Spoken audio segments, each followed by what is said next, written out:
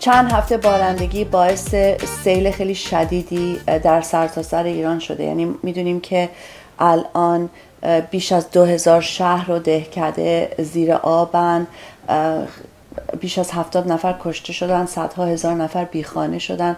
و می‌دونیم که این سیل واقعا یه چیزیه که غیر قابل تصوره وقتی آدم این درجه ای از تخریب رو می‌بینه دقیقا. واقعا. و چقدر هنوزم ادامه داره. یعنی هنوز آب خیلی از شهرها رو گرفته و زندگی آدم ها رو واقعا داغون کرده. دقیقا شما یه عالمه از زیربنای شهرها رو از بین برده خونه های مردم رو از بین برده مزاره رو از بین برده جاده ها رو از بین برده پولا رو خراب کرده. اصلا فکر می‌کنه که درجه تخریبی که وجود برده غیر قابل تصوره. که چطوری می‌تونی که یک سل اینقدر تاثیر منفی داشته باشه؟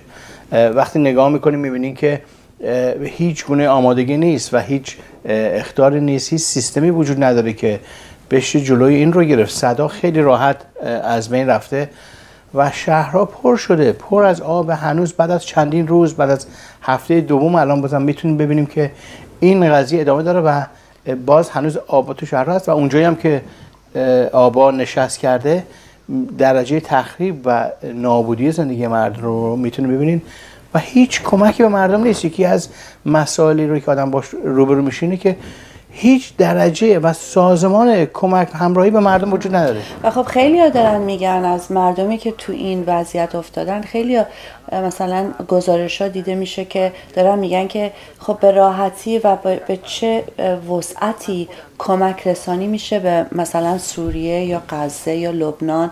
ولی تو خود ایران این امکان این مددکاری به این, به این وسط وجود نداره. خود مردمن که توی زلزله های قبلی هم دیدیم خود مردمن که میان پا می‌ذارن جلو میان سعی می‌کنن مردمی که تو این وضعیت رو کمک کنن. یعنی کلا سازمان یافته نیست از طرف دولت. دقیقا هیچ سازمانی وجود نداره. سازمانی وجود نداره. وقتی شما می‌تونید ببینید که مراجع فکری جامعه میان دعا می‌کنن میان سعی می‌کنن با دعا و بگن بلای طبیعی و یا خشم خداونده حتی اگه مثلا رهبر نبود از این بدتر می‌شد.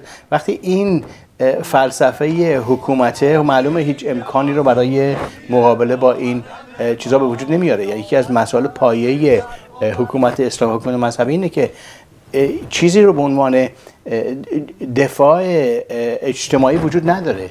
و, این, خب و این یکی از علالش ببخشید. و خب خیلی به نظرم دقیقا این حرفا رو می‌زنن به خاطر اینکه نمی‌خوان مسئولیت تقبل کنن برای مسئولیت خودشون در قبال این وضعیت. یعنی می‌دونیم خب دلایل زیادی هست که چرا این بارندگی شدید اینطوری کل کشور رو گرفته. یعنی میشه گفت فکر کنم آمارش اینه که از 31 مثلا استان ایران 26 تاش زیر آب خیلی از مناطق زیر آبن. خب این دلایل انسانی داره. یعنی اینطوری نیست که فقط به خاطر طبیعته. یه بخش مهمش خب یه دلیل مهمش همین این فسادیه که توی جمهوری اسلامی وجود داره. یعنی همه قراردادهایی برای بناسازی رو دادن به سپاه پاسداران. به قول شما قبلا داشتیم حرف می‌زدیم یه مافیان.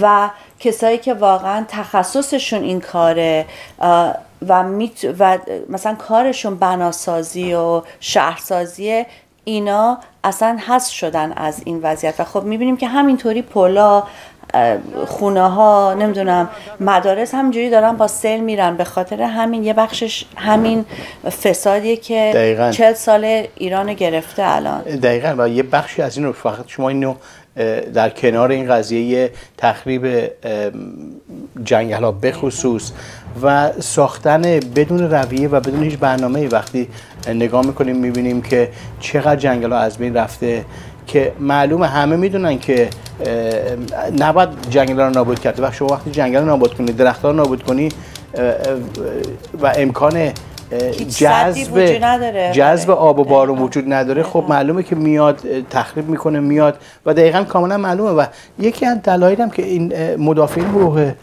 مدافعین محیط زیست رو دارن گرفتن و خیلی رو دارن دستگیر می‌کنن و تو زندان نگه میدارن به خاطر اینکه مستقیما ربط داره به برنامه های فروختن جنگل ها بدون رویه بدون هیچ دلیلی به دوستا و رفقای سپاه پاسداران و مسئولین مقام های جمهوری اسلامی و نتیجهش اینطوری میشه. یعنی کاملا ربط داره به فساد حکومت فلسفه جمهوری اسلامی و یک چیزی که شرایط انسانی و حکومتی جامعه ایرانه که باعث شده که این اتفاق بیفته.